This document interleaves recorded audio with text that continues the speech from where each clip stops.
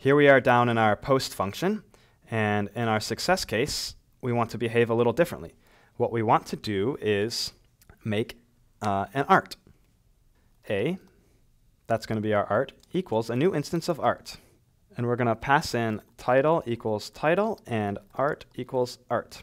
And we don't need to pass in created because of the auto_now_add we'll automatically uh, get that property. And so we're going to create a new instance. And then to store this instance, we say a.put. This will store our new art object in the database.